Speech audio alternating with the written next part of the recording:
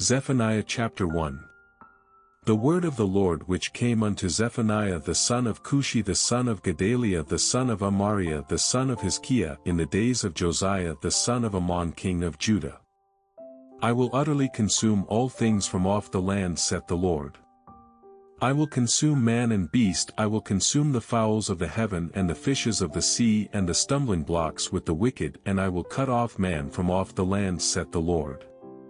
I will also stretch out mine hand upon Judah and upon all the inhabitants of Jerusalem and I will cut off the remnant of Baal from this place and the name of the Chemarims with the priests and them that worship the host of heaven upon the housetops and them that worship and that swear by the Lord and that swear by Malcham and them that are turned back from the Lord and those that have not sought the Lord nor inquired for him.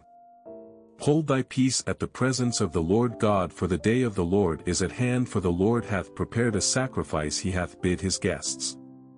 And it shall come to pass in the day of the Lord's sacrifice that I will punish the princes and the king's children and all such as are clothed with strange apparel. In the same day also will I punish all those that leap on the threshold which fill their masters' houses with violence and deceit. And it shall come to pass in that day saith the Lord that there shall be the noise of a cry from the fish gate and an howling from the second and a great crashing from the hills. Howl ye inhabitants of Maktesh for all the merchant people are cut down, all they that bear silver are cut off. And it shall come to pass at that time that I will search Jerusalem with candles and punish the men that are settled on their lees that say in their heart the Lord will not do good neither will he do evil. Therefore their goods shall become a booty and their houses a desolation they shall also build houses but not inhabit them and they shall plant vineyards but not drink the wine thereof. The great day of the Lord is near it is near and hasteth greatly even the voice of the day of the Lord the mighty man shall cry there bitterly. That day is a day of wrath a day of trouble and distress a day of wasteness and desolation a day of darkness and gloominess a day of clouds and thick darkness a day of the trumpet and alarm against the fenced cities and against the high towers.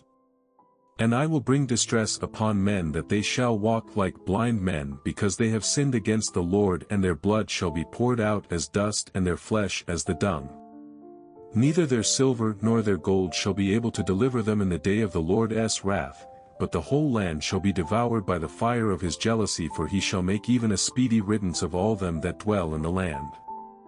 Zephaniah chapter 2 Gather yourselves together ye gather together O nation not desired, before the decree bring forth before the day pass as the chaff before the fierce anger of the Lord come upon you before the day of the Lord's anger come upon you.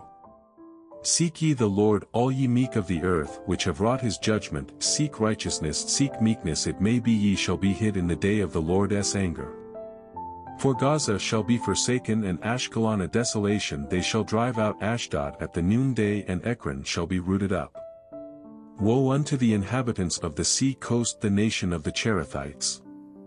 The word of the Lord is against you, O Canaan the land of the Philistines I will even destroy thee that there shall be no inhabitant. And the sea coast shall be dwellings and cottages for shepherds and folds for flocks. And the coast shall be for the remnant of the house of Judah, they shall feed thereupon in the houses of Ashkelon shall they lie down in the evening for the Lord their God shall visit them and turn away their captivity.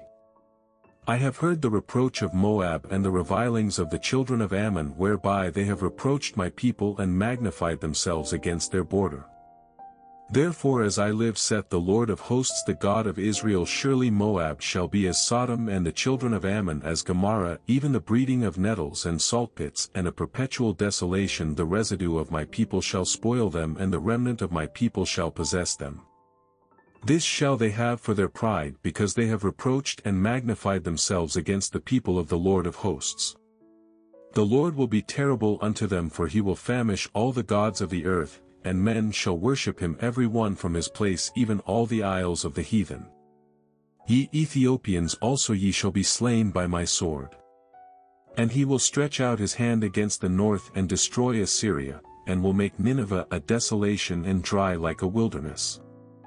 And flocks shall lie down in the midst of her all the beasts of the nations both the cormorant and the bittern shall lodge in the upper lintels of it their voice shall sing in the windows desolation shall be in the thresholds for he shall uncover the cedar work. This is the rejoicing city that dwelt carelessly that said in her heart I am and there is none beside me how is she become a desolation a place for beasts to lie down in. Every one that passeth by her shall hiss and wag his hand. Zephaniah chapter 3 Woe to her that is filthy and polluted to the oppressing city, she obeyed not the voice, she received not correction, she trusted not in the Lord, she drew not near to her God. Her princes within her are roaring lions, her judges are evening wolves, they gnaw not the bones till the morrow. Her prophets are light and treacherous persons her priests have polluted the sanctuary they have done violence to the law. The just Lord is in the midst thereof, he will not do iniquity every morning doth he bring his judgment to light he faileth not, but the unjust knoweth no shame.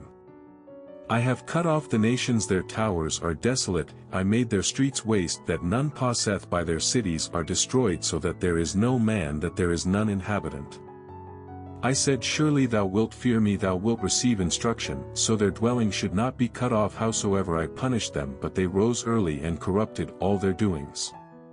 Therefore wait ye upon me saith the Lord until the day that I rise up to the prey for my determination is to gather the nations that I may assemble the kingdoms to pour upon them mine indignation even all my fierce anger for all the earth shall be devoured with the fire of my jealousy. For then will I turn to the people a pure language that they may all call upon the name of the Lord to serve him with one consent. From beyond the rivers of Ethiopia my suppliants even the daughter of my dispersed shall bring mine offering. In that day shalt thou not be ashamed for all thy doings wherein thou hast transgressed against me for then I will take away out of the midst of thee them that rejoice in thy pride and thou shalt no more be haughty because of my holy mountain.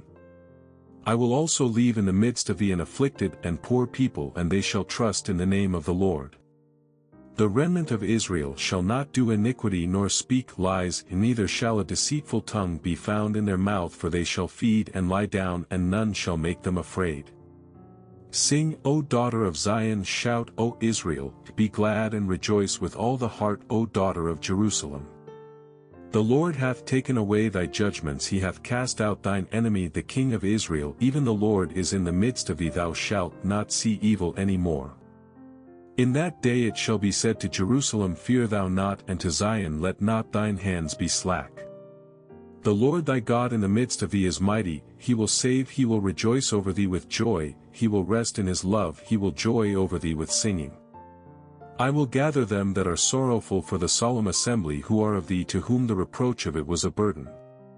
Behold at that time I will undo all that afflict thee and I will save her that halteth and gather her that was driven out and I will get them praise and fame in every land where they have been put to shame. At that time will I bring you again even in the time that I gather you for I will make you a name and a praise among all people of the earth when I turn back your captivity before your eyes saith the Lord.